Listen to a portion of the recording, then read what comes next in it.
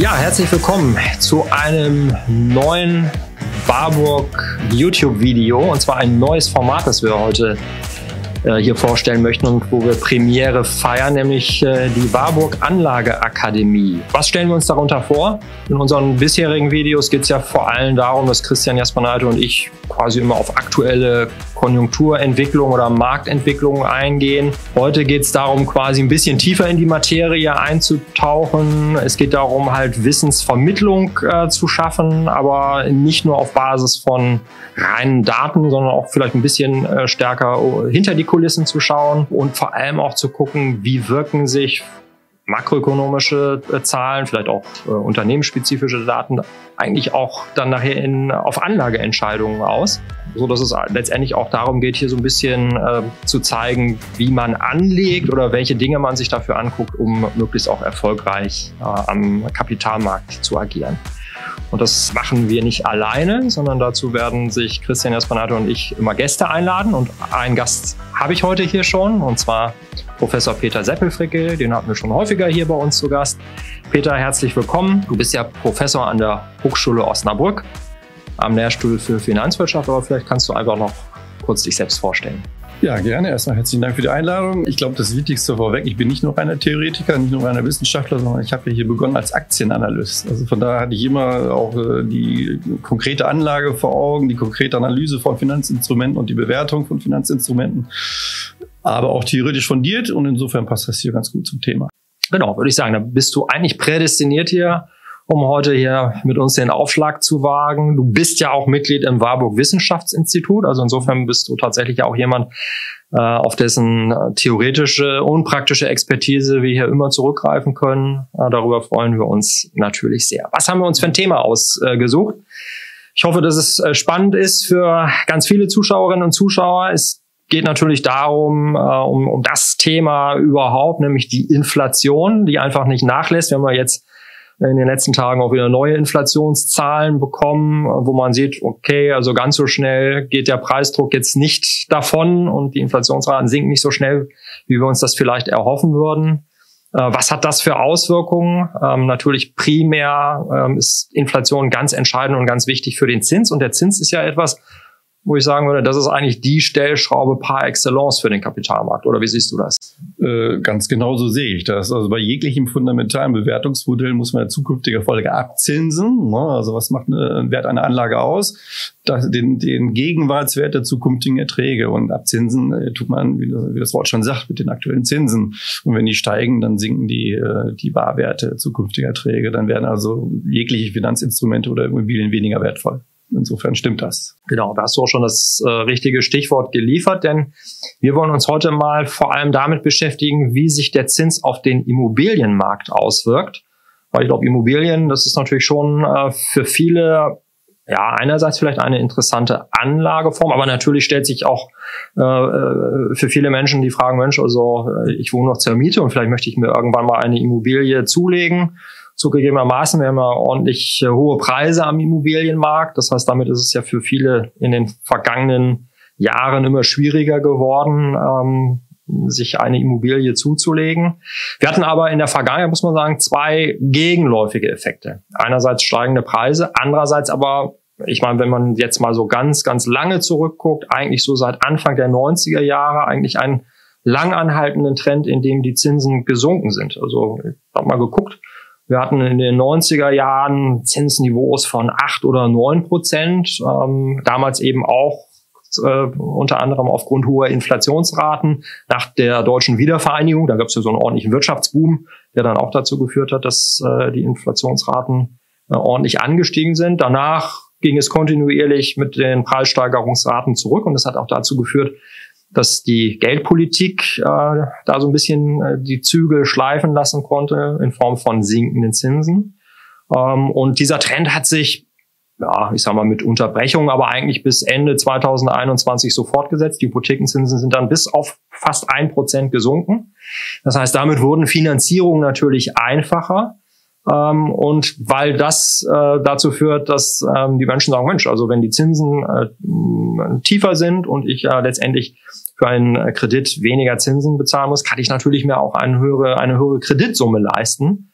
Und das hat dazu geführt, dass dann dementsprechend auch die Immobilienpreise sehr stark angestiegen sind. Auch hier bei uns in Deutschland. Nicht jetzt irgendwie schon seit Beginn der 90er Jahre. Wir haben diesen Trend eigentlich vor allem so nach der Finanzkrise gesehen. Also so seit 2009 mhm. Ähm, sind die Immobilienpreise schon sehr deutlich angestiegen. Man kann nochmal unterscheiden zwischen Bestands- und äh, Bestandsbauten und Neubauten. Man kann sehen, dass die Bestandsimmobilien sogar sich äh, etwas mehr verteuert haben als die Neubauten. Aber man kann sagen, so ungefähr Pi mal Daumen eine Preisverdoppelung seit 2009. Also wenn man das auch mit anderen Ländern vergleicht, äh, muss man schon sagen, das ist ein äh, ganz ordentlicher, eine ganz ordentliche Entwicklung gewesen. Mhm.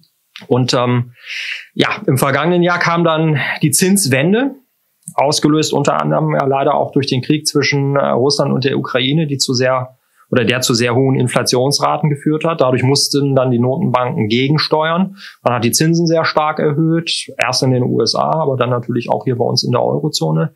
Und die Inflation und die Auswirkungen auf die Geldpolitik haben natürlich auch ihre Spuren dann ähm, bei den Hypothekenzinsen hinterlassen. Das heißt, da haben wir einen relativ starken Zinsanstieg erlebt im vergangenen Jahr von gut ein Prozent auf mittlerweile etwa vier Prozent.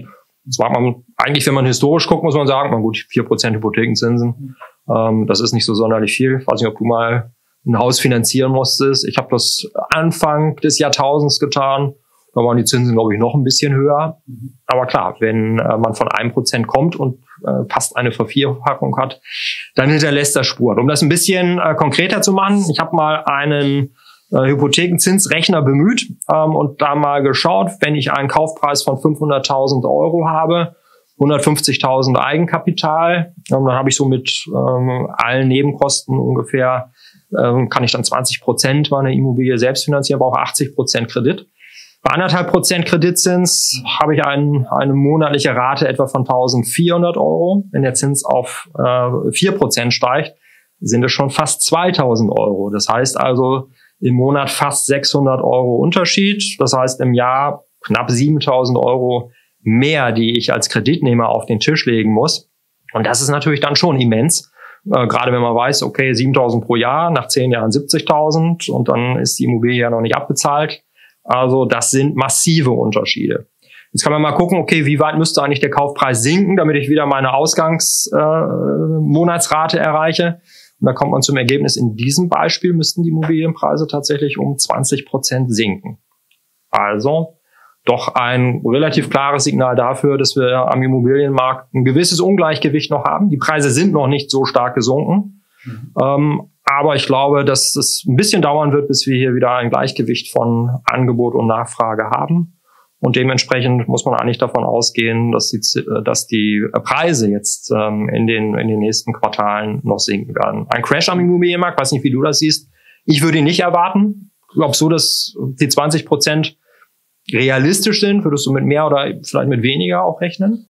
Also ich sehe das ähnlich wie du. Die Immobilienpreise müssen noch sinken. Ich habe es ein bisschen anders aufgerollt, eher von der Anlegerseite. Man will eine gewisse Rendite haben, kann darüber vergleichen mit anderen Anlageformen. Wenn die Zinsen steigen, auch für unsichere Anlagen, Beispiel italienische Anleihen, also schon ein bisschen mehr unsicher. Ne? Und wenn man dann da äh, bei solchen Anleihen vier, fünf Prozent Rendite bekommt, dann möchte ich das vielleicht auch von ähnlich riskanten Anlagen auch im Immobilienbereich. Und wie kann ich das erzielen mit einer relativ vergleichsweise konstanten Miete?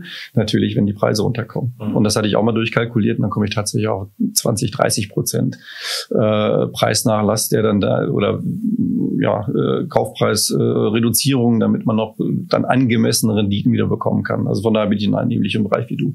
Genau. Also, mhm. also so weit sind wir noch nicht. Also da sind die Preise noch nicht so weit im Moment in Bewegung. Das führt auch dazu, dass wir relativ wenig Transaktionen im Moment am Immobilienmarkt haben. Ähm, kann man sich ganz gut anschauen, wenn man mal schaut, so, es werden relativ wenig Hypotheken, neue Hypothekenverträge abgeschlossen.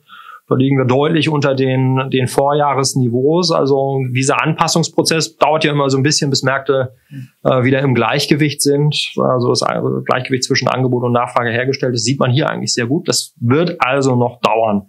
Mhm. Wie gesagt, so ein Crash, wie wir das so aus anderen Märkten kennen, wenn man mal zurückguckt, so 2008, 2009, was da am amerikanischen Immobilienmarkt passiert ist, was man teilweise in Skandinavien in den 90er Jahren gesehen hat, das würde ich jetzt für Deutschland nicht erwarten. Also keine Preishalbierung, aber wie gesagt, 10, 15, vielleicht 20 Prozent.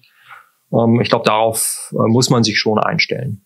Ja, das sehe ich ähnlich. Also einen Crash müssen wir nicht befürchten. Äh, du hast es ja auch schon ein bisschen ausgeführt. Wir haben jetzt höhere Zinsen, aber wir werden wohl dauerhaft nie wieder so hohe Zinsen haben wie die 90er Jahren oder noch zuvor. Aber es gibt starke Argumente dafür, dass das nicht so sein wird. Ähm, Zentralbankverhalten hast du angedeutet. Äh, ich glaube nicht, dass man aus dieser Sackgasse mehr herauskommt. Man hat die Zinsen äh, deutlich gesenkt und hat Staaten oder private Schulden angefixt mit niedrigen Zinsen. Es wurden Schulden angehäuft in allen Sektoren. Und wenn man jetzt krass die Zinsen steigen lassen würde, dann hätte man eigentlich auch wieder eine Finanzkrise. Insofern müssen das die Zentralbanken vermeiden und werden die Zinsen vergleichsweise niedrig halten. Und da muss man nicht viel befürchten. Und man kann es auch schon ganz gut ablesen an den Märkten. Also ich gucke immer auf die ganz langlaufenden Anleihen, die 30-jährigen Bundesanleihen beispielsweise. Und dann sieht man ja, welche Zinserwartungen da schon eingepreist werden. Und das ist langfristig immer noch äh, mehr oder weniger Zins von 1%. Und angesichts von hohen Inflationsraten ist das ein Realzins jetzt immer noch negativ. Also deswegen, da muss äh, man nicht sonderlich kalte Füße bekommen, dass jetzt in exorbitant steigen. Okay, das ist ja eigentlich auch schon mal vielleicht eine gute Nachricht. Ja. Hab mal geguckt, ähm, jetzt in den vergangenen äh, Tagen und, und Wochen sind ja die Zinsen, also zumindest die Kapitalmarktrenditen und Zinsen äh, wieder deutlich angestiegen. Ich habe jetzt im Moment noch nicht erkennen können, dass sich das auch schon wieder auf die Hypothekenzinsen ausgewirkt hat. Also die zehnjährigen Hypothekenzinsen liegen immer noch bei ungefähr vier Prozent. Ich habe mal so langfristig zurückgeschaut. Wir haben eigentlich so einen Abstand zwischen zehnjährigen Bundesanleihen und Hypothekenzinsen für zehn Jahre, also etwa bei 100 Basispunkten liegt. Ne? Also wenn man sagt, aktuell 2,70 ungefähr für eine zehnjährige Bundesanleihe, würde man ja auch sagen, okay, 3,7 Prozent, knapp 4 Prozent für, für Hypothekenzinsen wäre eigentlich historisch gesehen auch angemessen und da liegen wir im Moment auch. Ne? Und ja, also ich glaube, für den Blick nach vorne geht es natürlich tatsächlich um die Frage dann, was macht die Inflation? Dann kann man auch sagen, okay, geht sie runter, werden die Zinsen auch wieder sinken. Das ist eigentlich auch so unser Basisszenario, auch wenn das zugegebenermaßen im Moment von den neuesten Daten noch nicht wirklich ähm, so unterstrichen wird, dass es auch eintreffen wird. Aber ich glaube, da können wir vielleicht für die nächsten Monate dann doch etwas optimistischer sein. Und wenn das eintritt, wenn die Zinsen dann, wenn die Geldpolitik nicht weiter gestrafft wird, vielleicht auch irgendwann die Kapitalmarktzinsen wieder sinken werden, mhm. müssten auch die Hypothekenzinsen wieder runterkommen und mhm. das dürfte dann auch dem Immobilienmarkt wieder helfen. Aber wir wollen natürlich auch jetzt nicht nur über Immobilien sprechen, äh, in denen man selbst wohnen kann oder die man mietet, sondern es gibt ja auch andere Möglichkeiten für Anleger, wenn man sagt, okay, der Immobilienmarkt ist eigentlich super spannend und super interessant. Es gibt ja auch Immobilienaktien. Mhm. Mit Immobilienaktien hast du dich ja auch in letzter Zeit äh, sehr intensiv beschäftigt. Mhm. Ähm, letztes Jahr war ja zugegebenermaßen ein ziemlich schreckliches Jahr für Immobilienaktien. Ich habe mal geguckt, der Stocksektor Real Estate hat im vergangenen Jahr fast 40 Prozent an Wert verloren, einzelne Aktien ja noch mehr, 60, minus 70 Prozent zum Teil. Ähm, wie würdest du das einschätzen? Geht dieser, ist das gerechtfertigt und muss man sich als Anleger vielleicht darauf einstellen, dass die Kurse noch weiter runtergehen oder ist das eher jetzt vielleicht eine Schnäppchenmöglichkeit? Also eher letzteres. Also ein schreckliches letztes Jahr heißt tatsächlich aktuell, die Aktien sind recht günstig. Also man kann das ja an fundamentalen Kriterien festmachen, sprich im Wesentlichen am Substanzwert.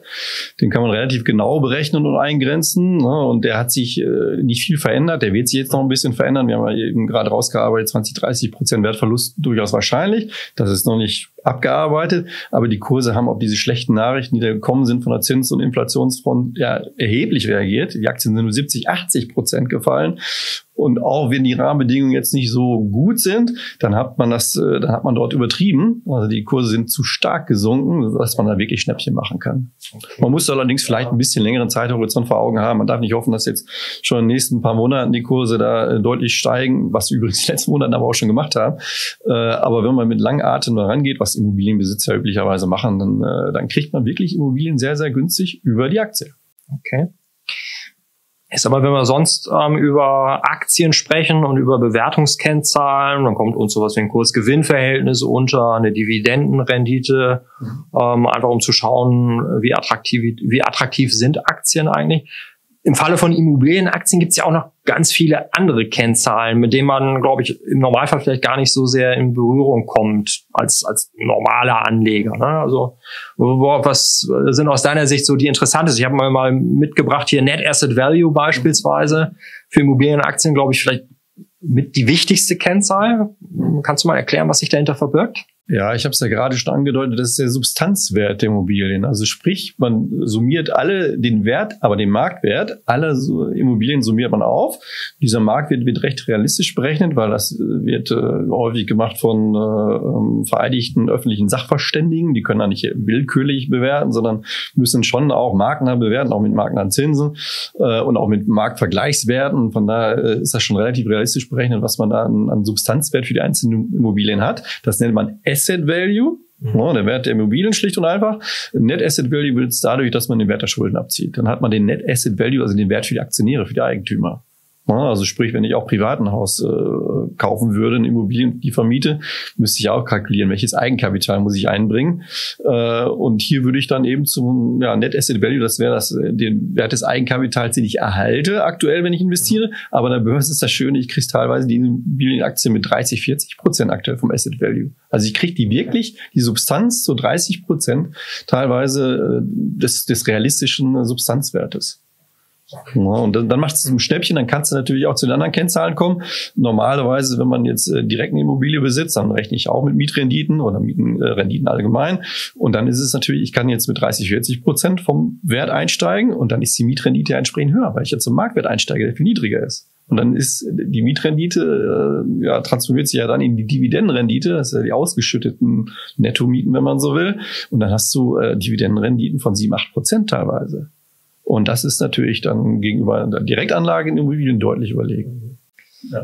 Also in der Konstellation der letzten 12, 14 Monate ist es aber schon so, dass auch der Net Asset Value natürlich gesunken ist, oder? Weil ich sag mal, Asset Value, also der Wert der Immobilien, nimmt ab, also auch oder sollte abnehmen, auch wenn wir noch gar nicht so eine große Reaktion bei den Immobilienpreisen bisher gesehen haben. Aber du sagst ja auch, 10, 15, 20 Prozent muss man da vielleicht abziehen.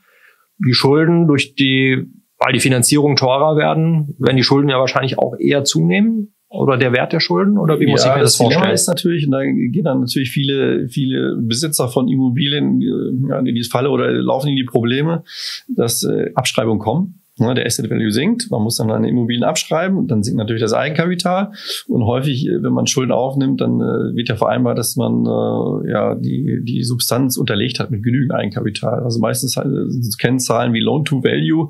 Das heißt also, man darf bis zu 60 Prozent des Wertes der Immobilien als Kredit aufnehmen, also Schulden finanzieren.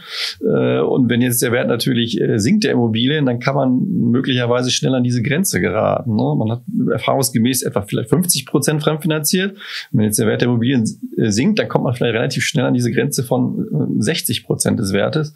Und dann drohen Liquidierungen für einige Immobilienunternehmen. Ne? Ja, Namen darf ich ja nicht sagen. Aber es gibt bekannte deutsche Immobilienbesitzer, auch große, die, die kommen dann an diese Grenze und die haben auch schon angekündigt, dass man dann äh, liquidieren muss. Also große Portfolios an Immobilien auf den Markt werfen muss. Und dann äh, geraten natürlich die Preise erst recht unter Druck. Okay. Also das ist noch nicht ausgestanden. Da wird es noch schlechte Nachrichten geben, auch ein paar Verwerfungen geben, aber jemand mit einem langen Zeithorizont, der könnte jetzt schon relativ guten Gewissens einsteigen. Okay.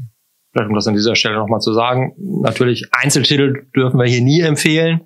Also wenn man in der Beratung, wen das interessiert, der muss entweder selbst recherchieren oder der kann sich beispielsweise auch gerne an unsere Kundenberater wenden. Das ist gar kein Problem, aber hier im Video gibt's jetzt keine Empfehlung von uns. Da werden wir immer eher allgemeine Aussagen treffen, zum Beispiel zum Sektor, das ist dann unproblematisch ähm, oder unproblematisch her und ähm, nicht jetzt zu einzelnen Immobilienunternehmen. Äh, was mich nochmal interessieren würde, ich sag mal, klar, das sind die Größen, die du jetzt angesprochen hast, die sind alle gut messbar und dementsprechend auch, wenn man konkrete Vorstellungen hat, gut zu prognostizieren. Ähm, auf der anderen Seite, es gibt ja auch so weichere Faktoren. Also gerade auch äh, was beim Thema Immobilien spielt ja auch die Politik und die politische Einflussnahme immer eine gewisse Rolle. Ich kann mich erinnern, äh, das war, glaube ich, 2021, da hatten wir diese Diskussion oder nicht nur die Diskussion, sondern da wurde ja im Berliner Senat ein sogenannter Immobilien äh, oder Mietdeckel beschlossen. Mhm. Das hat damals den äh, Kursen der Immobilienaktien natürlich auch nicht gerade gut getan. Gut, das ist später vom äh, Verfassungsgericht dann wieder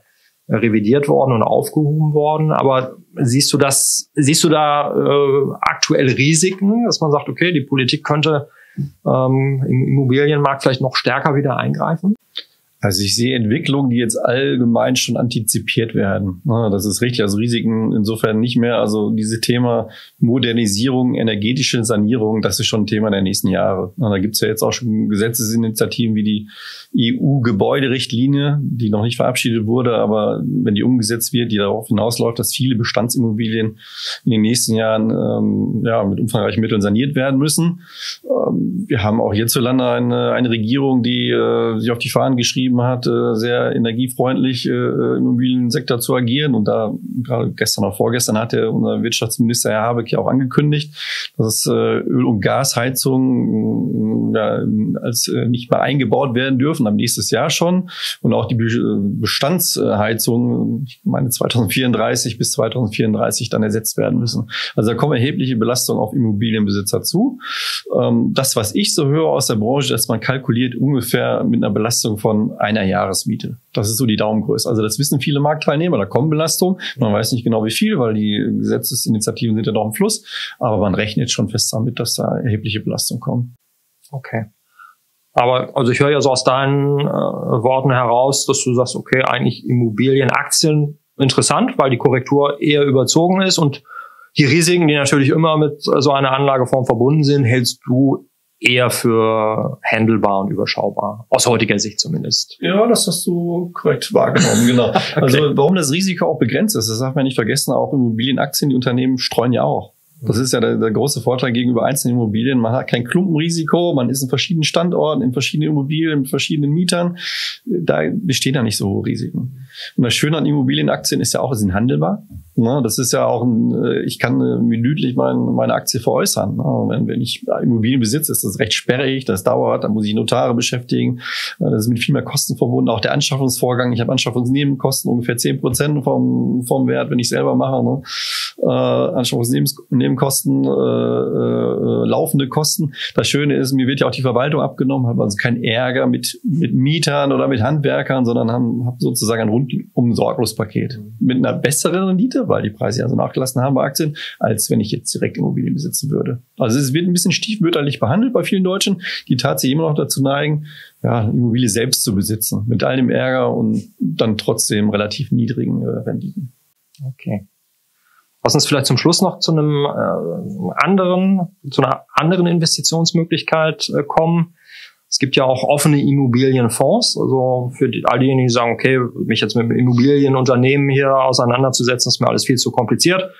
Einen Immobilienkauf kann ich mir aber nicht leisten. Wenn ich trotzdem da irgendwie aktiv werden möchte und mein Geld da anlegen will, kann ich ja auch auf offene Immobilienfonds zurückgreifen. Hat auch den Vorteil, breite Streuung, nicht so liquide. Da gibt es natürlich Anlage, äh, Vorschriften, Kündigungs- und Haltefristen. Mhm. Findest du, dass offene Immobilienfonds im Moment Wären das für dich eine Alternative? Siehst du da Vorteile oder Nachteile? Ja, im Augenblick nicht. Also man muss sagen, äh, letztendlich bucht man mit Immobilienaktiengesellschaften um gleichen Immobilien. Die kaufen die gleichen Wohnimmobilien, Büroimmobilien, Gewerbeimmobilien. Das sind also die gleichen Immobilien. Bei Immobilienaktien kriege ich zum Schnäppchenpreis aktuell, weil die Preise nachgelassen haben.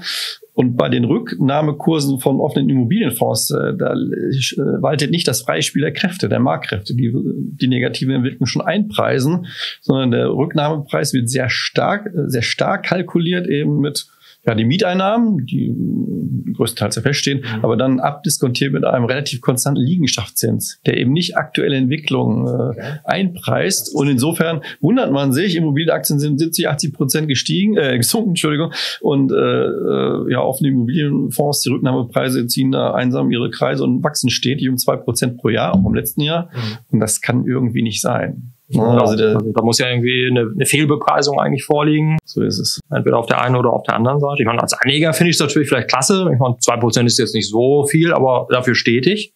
Ähm, ja, aber das ist Augenwischerei ein bisschen. Also im Augenblick sind die Kurse recht hoch, aber muss fürchten, irgendwann kommt die Abwertung. Die kommt dann nur mit Verzögerung, weil dieser Liegenschaftszins, der passt sich sehr, sehr träge an den Marktentwicklungen. Der Liegenschaftszins ergibt sich aus Renditen von bestehenden Immobilien, also aus vergangenen Transaktionen. Du hast ja eben gesagt, Transaktionen finden ja jetzt aktuell wenig statt. Das heißt, man hat also Renditen eingepreist von Transaktionen von vor der Krise oder vor, vor den Zinsanhebungen, da waren noch höhere Renditen durchaus äh, üblich und äh, äh, niedrige Renditen, Entschuldigung. Und äh, das äh, hat man noch alles gar nicht berücksichtigt. Also man muss einfach fürchten, das kommt mit Verzögerung. Das wissen auch viele Marktteilnehmer. Es gab ja auch schon Fonds von Blackstone beispielsweise, wo dann eben ja sehr viel äh, Anteil zurückgegeben werden und dann diese Fonds auch in Liquiditätsprobleme kommen. Ja, okay. ja. ja eigentlich äh ein super spannendes Feld, über das man jetzt noch ganz, ganz viel äh, weiter diskutieren könnte. Ich würde mal sagen, als Fazit, das ich so mitnehme, ähm, aus seiner Sicht am interessantesten eigentlich tatsächlich die Immobilienaktien, weil sie so stark schon äh, im Kurs verloren haben. Eigentlich eine, eine überdurchschnittlich stark, eine zu starke Kurskorrektur. Danach dann vielleicht die Immobilienfonds, einfach weil sie relativ stetig sind, auch wenn du sagst, okay, eigentlich ist es eine Fehlbepreisung, aber mhm ich habe daraus gehört, die wird wahrscheinlich auch noch weitergehen und äh, die wird jetzt nicht im nächsten Jahr oder jetzt in den, in den kommenden Monaten komplett äh, schon, schon aufgehoben werden. Deswegen wird es auch da wahrscheinlich eher weiter relativ stabile Preise geben. Mhm. Gut, und die Direktimmobilie ist wahrscheinlich im Moment eher die schlechteste Alternative, zumindest aus Anlegersicht. Mhm. Und auf Käuf, als, als Käufer wird man wahrscheinlich noch ein bisschen warten müssen, bis die Preise wirklich etwas stärker in Bewegung äh, geraten. Mhm. Ähm, und als Verkäufer, ja gut, wird man sich vermutlich in den nächsten Monaten doch noch ein bisschen mehr bewegen müssen, wenn man die Immobilie tatsächlich verkaufen muss, weil ansonsten ähm, bekommt man sie momentan tatsächlich zu den aktuellen Preisen wahrscheinlich nicht los. Mhm. Okay. Ja, da würde ich sagen, erst einmal vielen, vielen Dank, Peter. Mhm. Ich hoffe, dass äh, das auch für unsere Zuschauerinnen und Zuschauer ein interessantes Thema, ein interessanter Einstieg in die Warburg Anlageakademie gewesen ist. Ich glaube, man sieht schon, ganz vielschichtiges Thema, gibt viele Begriffe, mit äh, denen man vielleicht sonst so gar nicht so vertraut ist. Kann man gerne ja auch nochmal nachlesen und ein bisschen selber recherchieren. Ansonsten, wenn Fragen auftauchen, kann man sich auch immer gerne an uns wenden. Wir würden uns natürlich auch freuen, wenn es vielleicht Themenvorschläge gibt äh, von denjenigen, die jetzt hier zuschauen und sagen, Mensch, also hat mir gefallen, aber das und das würde mich auch nochmal interessieren. Da sind wir ganz offen. Und äh, ja, erst einmal vielen, vielen Dank. Wir sehen uns bestimmt bald wieder und dann freuen wir uns auf die nächste Warburg Anlage Akademie. Dankeschön. Ja, danke auch.